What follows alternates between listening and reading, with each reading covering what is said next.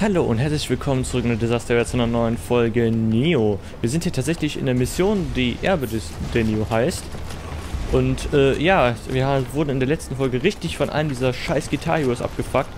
Ähm, der ja halt auf seiner blöden Laute gespielt hat und ständig irgendwelche äh, Gräber hier hinauf beschworen, ha beschworen hat. Und äh, ja, zu besiegen ist halt nicht so einfach. Oh, hier kommen wir gar nicht, kommen wir gar nicht vorbei kann man auch gar nicht hoch. Okay. Dann müssen wir wohl hier nach vorne latschen. Ja, aber nichtsdestotrotz haben wir es geschafft, diesen blöden Gitarre zu erledigen. Und jetzt können wir hier ganz normal weitermachen. Wenn hier nicht halt noch mehr Yokai durch die Gegend stapfen würden, die uns das Leben bestimmt nicht einfacher machen werden. Vielleicht kommen wir jetzt noch dran vorbei, ne? dass der uns hier behagt. Hier liegt ein Stein. Lieber defensiv bleiben. Neo mag es zu überraschen. Okay. Jetzt stellt sich die große Preisfrage, ob man hier rein kann. Kann man tatsächlich. Frage ob ich das doch tun sollte. Hier ist definitiv das Questziel. Das will ich aber noch nicht. Und deswegen ziehen wir jetzt erstmal weiter und schauen noch, was in der Richtung hier liegt. Dass hier nur eine Nebenmission ist, schätze ich mal nicht viel. Da ist ein scheiß Umibose. Boom! Oh. Das ist ja gar nicht. Ja, ja. Geh sterben. Boom! So, bloß nicht runterfallen. Da ist ein Schrein. Oh. Puff! Weg damit! Oh, da kommen wir gar nicht rüber. Und da ist noch ein Amrita. Oh Gott, ey, das ist hier aber grenzwertig, ne? Grenzwertig. Und Stein. Die, die, die, die. Ich komme immer noch nicht dran. Jetzt. Oh Gott. Okay, geschafft. Alter, das sieht ja lustig aus, ey. Guck dich das an. Uh, diese Sidesteps, diese, diese Beinarbeit, Hammer. Ist das funny. So. Können wir auch getrost rüberlatschen. Alter. Ich liebe diese Animation-Spams. In Dark Souls sind die auch einfach zu göttlich teilweise. Aber das hier ist wirklich extrem funny. Ähm. Autsch. Ich sollte vielleicht nicht da so... Na? Äh, der ist definitiv ein Problem, den ich hier schon aus dem Weg räumen. Oh, wow, was? Die können einfach so Rückwärtsseite machen. What the fuck? So. Nix da, du verreckst. Oh. Ich fast auch den habe ich jetzt natürlich auch gut Fire Damage mitgegeben. Kommen jetzt bestimmt noch mehr, oder? Weil ja, kommen wir noch mehr. So, der kann direkt auf die Fresse bekommen. Zack. Ab dafür. So, den hätten wir schon mal. Ah, klasse, noch einer von denen kommt. Oh, so ein ganz großes Ding, na toll. So, erstmal hier Power up. Oh shit. Das hat nicht funktioniert. Der hier ist zum Glück gar nicht am Nerven.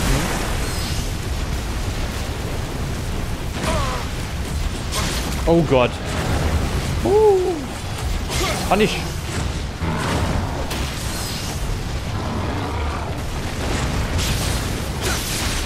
Ah, Mann. Du blödes Ätzvieh.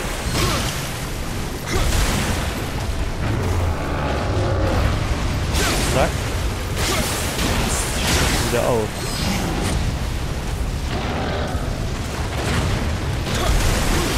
Ah, nein. Oh Gott. Uh. Scheiße, nicht getroffen. Nerv mich. Los, Otzki, weißt du was? Ich baller dich jetzt einfach kaputt. So, was sagst du jetzt?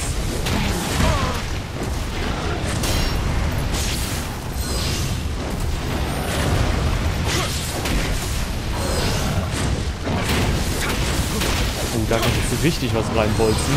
Und dead. Nice. So, Nonne? Ja, natürlich. Oh, nee. Nein, warum? Die Dinger.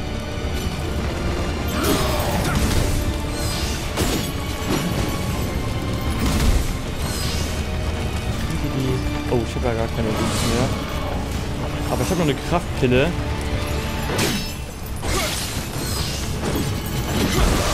Aua. Und den. Und den kannst du auch haben. Zack. Ah, ein bisschen Damage konnte ich damit machen. Scheiße, hab ich total verteilt. Oh Gott. Scheiße. Ich hasse diese Raben-Tengu. Die sind sowas von ätzend. Oh nee. Oh, sag bitte. Oh nein. Scheiße. Bitte sag, dass ich diesen Typen von ihr aus treffen kann. Wenn der überhaupt respawnt. Bisher kann ich nichts von dem hören. Naja, kümmern wir uns erstmal um den Typen. Der muss auf jeden Fall verrecken. Boom. Ich hoffe nur, dass mir die Muni nicht ausgeht. Okay, ich kann den Typen nicht hören. Ich glaube, der spawnt nicht. Oh Gott. Warum wollte ich das zuschlagen? Extrem dämlich, Aranel.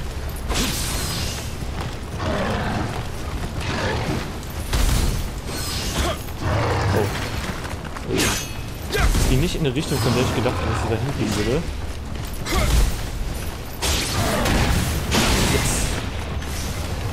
Und weg damit. So, einfach Kombon. Jawoll.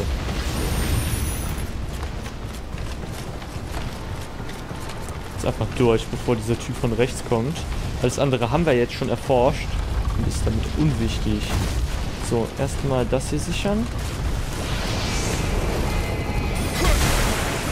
Hier möglichst killen, bevor ähm, der eigentliche Gegner erscheint. Aua. Nämlich genau der. Fuck, fuck, fuck. Boah, Combo der uns direkt weg, ey. Das muss man ihm lassen. Optimaler Punish. Besser hätte man es nicht machen können. Alter. Okay, ja, die Gegner killen ist eine Sache, aber man sollte vielleicht nicht so dermaßen seine Verteidigung vernachlässigen. Das war nicht gut. Aber noch zwei Schuss, ey, scheiße. Treten! Mehr treten! Noch mehr treten!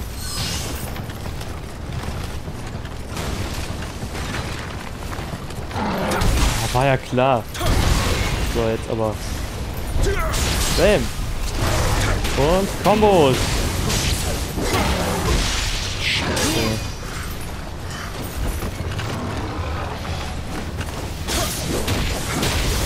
So. Trotzdem noch mal geschafft. Oh, oh. Wir sind, wir sind schnell. Wir sind nicht mehr ganz so schwer wie vorher. So. Dieter. Typ treten. Shit, das letzte Mal konnten wir direkt wegkombonen. Aber diesmal leider nicht. Jetzt kommt bestimmt gleich dieser Ads-Typ-Ton. Ja, da ist er schon. Okay, den kriegen wir vielleicht noch. Oh, shit. Nix da, du scheiß Typ.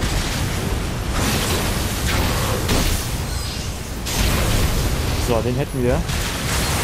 Wir werden jetzt auch verrecken.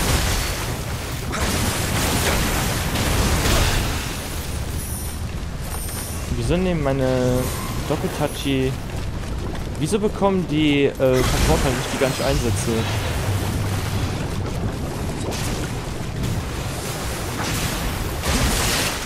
So. Ich hoffe, das reicht, um die zu killen. Oh Gott. So, dann kann ich jetzt auch das Ding da noch verbrennen. Au! Gott, die Nerven. Ja einfach. Aber jetzt hört das Ding natürlich auf, ne? Aber nicht mit mir. So. So, nimm den. Was? So. Ich hab den ernsthaft nicht getroffen. What the fuck? Ich weiß, die sind nur nicht, nicht aufregend, die sind wirklich nur zum Nerven da. Wirklich Damage machen die nicht, die sind nur zum Nerven da.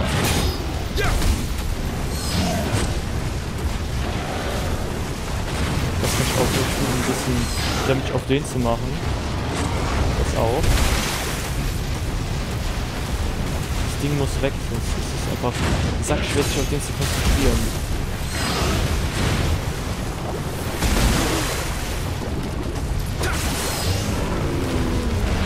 Wieder so scheiße viel. Ah, halbes verloren. Du was? Steck dir nochmal zu. Ja, natürlich. Oh Gott. Trifft alles andere als gut. Was macht er jetzt?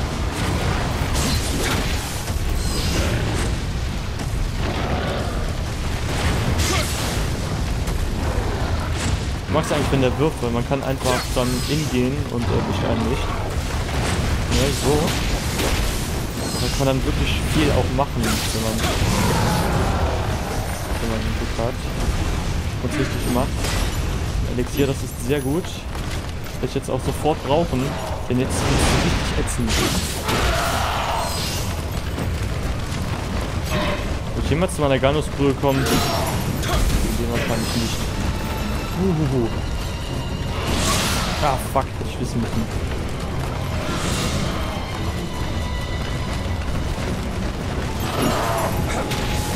So. Komm, ham. Muss ich halt merken, dass die immer diesen Kick hinterher machen. Aber also, die Kicks kann ich auch.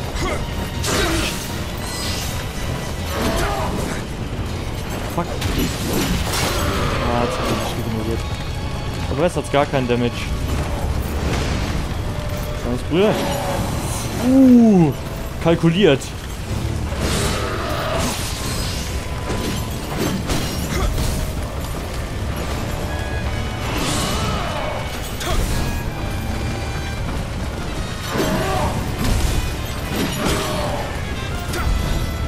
Ah.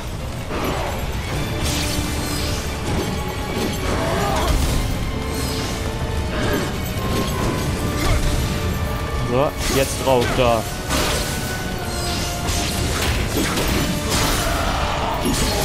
So. Haha. okay, es wird besser gegen die. Es wird definitiv besser gegen die Rabentingo. Das war jetzt schon richtig, richtig nice. Ach, das ist das Schwert. Ach ja, was wir schon wieder für Strapazen auf uns nehmen mussten, nur wegen einem fucking Schwert.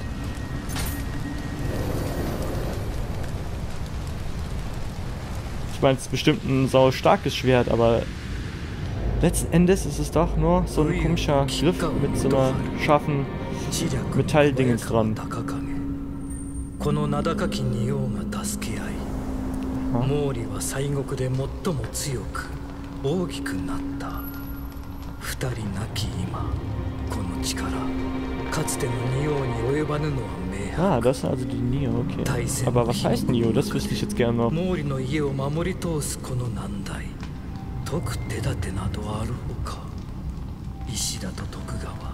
Soshiri wa manukaremai ga, katta hou ni kumi suru shika aru mai.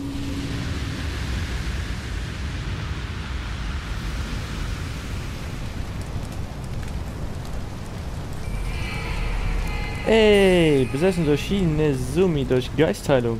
Ist das eine Ratte oder was ist das? Keine Ahnung, sehen wir jetzt.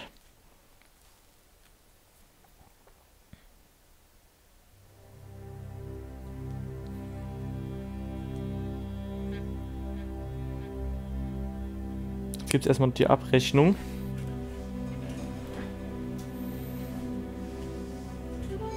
Sir Anjin, ich kann dir nicht genug danken, das sagen sie immer. Eigentlich hätten die Kikawa und Kobayakawa das allein schaffen müssen, aber... Nein, ich will nicht mehr davon reden. Gestatte mir, dir als Zeichen meiner Dankbarkeit dieses Schwert zu leihen. Eine solche Klinge gehört in der Hand eines Samurai wie dir. Wenn ich es eines Tages geschafft habe, meinen Vater zu übertroffen und ein würdiger Krieger gleich den Neo der alten Zeit zu werden, werde ich es wiederholen kommen. Okay.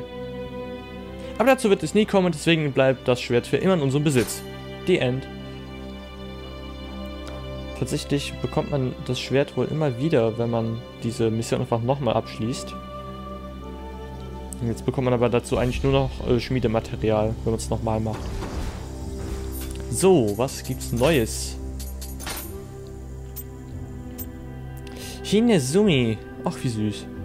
Die Hinezumi verleihen jene Stärke, die sich großen Problemen gegenübersehen. In der berühmten Geschichte vom Bambussammler stellt die Prinzessin Kaguya ihren Verehrern die Aufgabe, eine Hinezumi, Feuermaus, zu jagen, um aus deren Fell einen Mantel zu fertigen. Ah, einer der Freier versuchte, die Aufgabe zu lösen, indem er einen solchen Mantel einfach kaufte, schaffte es aber nicht.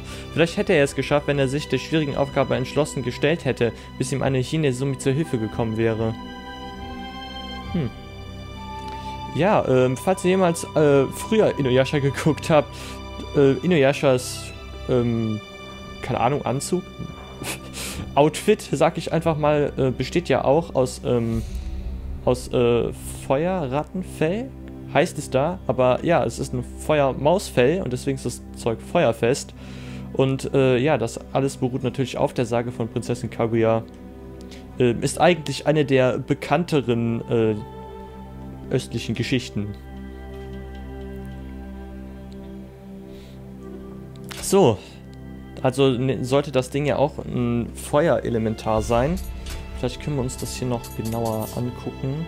Wenn ich noch weiß, wo man die eigentlich wieder auswählt. Ich glaube im Schrein. Ja, genau. Gucken wir uns mal an, was das Ding kann.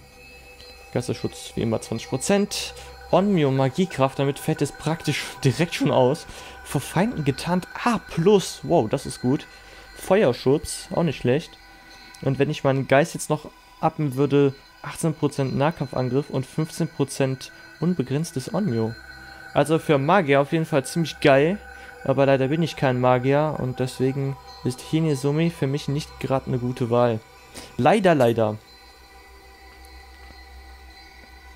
Bisher Kato ist einfach irgendwie am besten. Nee, Raiken ist auch nicht schlecht. Besonders halt gegen Blitzgegner und so. Aber bietet mir auch nicht ganz so viel wie Kato.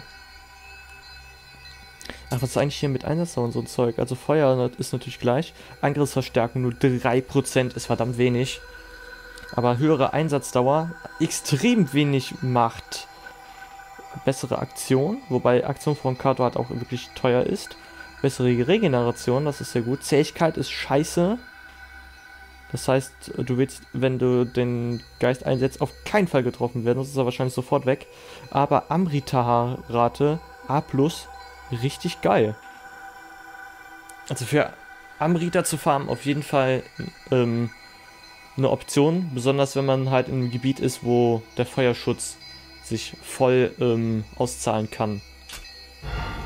Aber so versiert sind bei weitem nicht und deswegen, äh, ja, Magier sind wir auch nicht, deswegen Hinezumi bringt mir eigentlich nichts. So, Amrita haben wir jetzt sau, sau viel, weil wir sie bei jedem Ableben retten konnten und darüber hinaus sehr, sehr viele ähm, ja, PvP-Kämpfe kann man ja so eigentlich nicht sagen, asynchrone PvP-Kämpfe gewonnen haben, gemacht haben. Und äh, ja, deswegen haben wir jetzt echt viel Amrita. So, weiter auf Körper erstmal, oder? Oder sollte ich langsam wieder auf Fähigkeit und so weiter gehen? Es gäbe satte drei Samurai-Fähigkeitspunkte, das ist schon echt viel. Hm. Ich frage mich, was genau eigentlich der Chi-Impuls verbessert. Startbonus. Ah. Ich habe mich das gerade jetzt gefragt, weil wenn ich angreife, ne, ähm, ich kann ja mit dem Chi-Impuls nicht mehr Chi wiederherstellen, als, äh, als ich hatte. Deswegen. Aber es ist wohl so, ähm, dass du, ähm, wenn du einen Chi-Impuls machst, wenn ich jetzt ähm, angreife und dann sofort den Chi-Impuls mache, dann ist das mehr basierend darauf, wie stark der Chi-Impuls ist. Das ist jetzt ein bisschen umständlich, aber ich weiß nicht, wie ich es besser erklären soll. Oder ähm, man kann es auch einfach so ausdrücken, ähm, dass das Chi lädt sich ja dann wieder auf und man muss das Timing finden, um so viel Chi wie möglich wieder herzustellen. Und äh, das Ding läuft einfach schneller. so kann man es sich erklären. Das, das startet halt viel, viel ähm, weiter vorne als normalerweise. So. Ähm, jetzt habe ich aber immer noch kein Level abgemacht. Ich glaube, wir machen mal Körper und Fähigkeit. Was ist denn hier mit Geschicklichkeit? Wird meine den Jutsu-Kraft nochmal ordentlich steigern und nochmal mehr Fähigkeitspunkte und Kapazität. Ob das reicht, dass ich was Neues mitnehmen kann, bezweifle ich. Na, ich glaube, Fähigkeit bringt mir da mehr. Ich glaube, das bringt mir da echt erstmal mehr.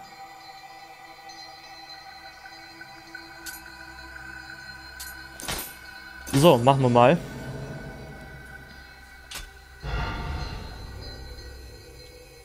Bin mir immer noch nicht ganz sicher, wie man halt jetzt so optimal seinen Charakter baut. Ich, ich mache einfach drauf los und schau, was passiert. So, ich glaube, jetzt haben wir hier aber tatsächlich... Ach nee, hier ist noch die Verschwörer. Wo man wieder irgendein geiles Wasserschwert bekommt. Apropos Schwert. Was haben wir da jetzt eigentlich für ein Schwert bekommen? Das war, ähm, ich glaube, hier dieses Hiromitsu. Oder? Ich gucke einfach nach. Was war das? Ja, ja, das Hiromitsu. Also dieses Ding hier. Deutlich, deutlich stärker als meine Kusarigama. Und das, obwohl es noch keine Vertrautheit hat. Das ist schon ordentlich. Allerdings muss man dazu sagen, dass das Ding auch ein paar Level höher ist. Was haben wir noch gefunden? Dieses Ding hier. Aber es sind halt alles Katana. Das bringt mir nichts. Gut. Dann schauen wir uns noch die Verschwörer an. Sir Anjin, verzeih, dass ich dich so oft herbeirufe. Ach, was soll's. Ich habe heute nach dir geschickt, weil mein wertvollstes Schwert von Banditen gestohlen wurde, die meine Sänfte überfielen. Und wieder ein Schwert weg. Ich bin unbeschadet davongekommen, doch wie du weißt, ist das Schwert eines Kriegers so wichtig wie sein Leben. Ich brauche es zurück. Ich, Hideake, werde persönlich die Banditen auslöschen und mein Schwert zurückholen. Das dachte ich zuerst, aber als Oberhaupt des Clans wäre es unverantwortlich von mir, mich kopfüber in die Gefahr zu stürzen. Erledigst du das für mich? Also ich hätte jetzt gesagt, schick doch einfach deine Handlanger, aber ich bin sein Handlanger. aber aus irgendeinem Grund kann man hier drei Kodama finden. Das ist eigenartig. Also ist es vielleicht eine längere Mission, aber naja, man kann da einiges an Zeug bekommen. Außerdem einen neuen Schutzgeist und Schutzgeister mögen wir wirklich sehr und deswegen nehmen wir die Nebenmission natürlich an. So, dieses unheilvolle Küstengebiet hat zahlreiche Schiffswracks hervorgebracht. Ob das an ungewöhnlichen Strömungen oder einer anderen, dunkleren Macht liegt, das weiß niemand. Was auch der Grund sein mag, unter den Einheimischen ist dieses Gebiet als Schiffsfriedhof bekannt. Origineller Name. Und damit nicht genug. In letzter Zeit wollen Seeleute hier Geister und Yokai gesehen haben, die an den Ufern umherstreifen. Spooky.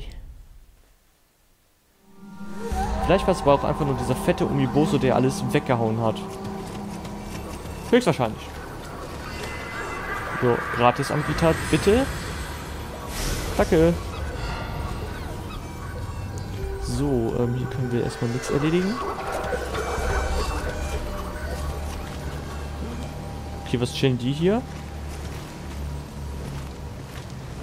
Leute. Was chillt ihr hier?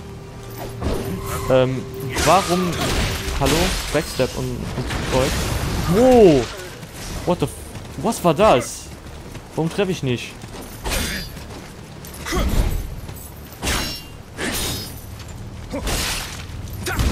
Hoch, hoch. Kaputt. Oh, nice. Nice, nice, nice. Da oben steht so ein scheiß Schütze. Oh, da ist noch wer. Da schießt noch irgendwer. Da ist eine fucking Kanone oder so. What the fuck? Ich hätte mal. Die Gegner kann ich da auch getrost liegen lassen. Ich wollte ja nur dieses Item da haben. Oh, hallo. Juhu. Zack, zack.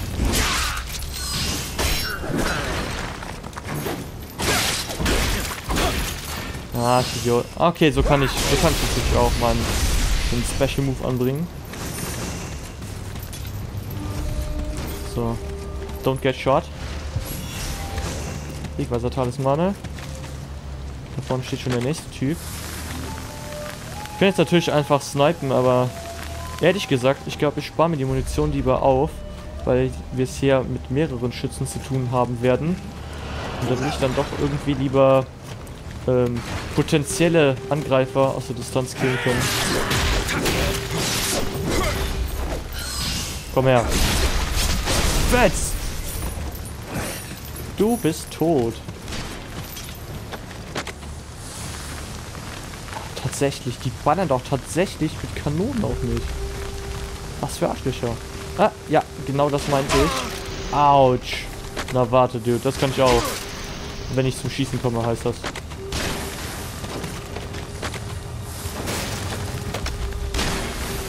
Hehe. Oh Gott. Oh Gott. Wenn ich jetzt schießen könnte, ne? Meine Fresse!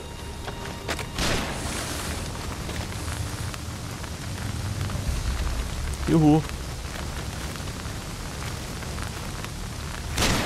Nein, ist das dein Ernst?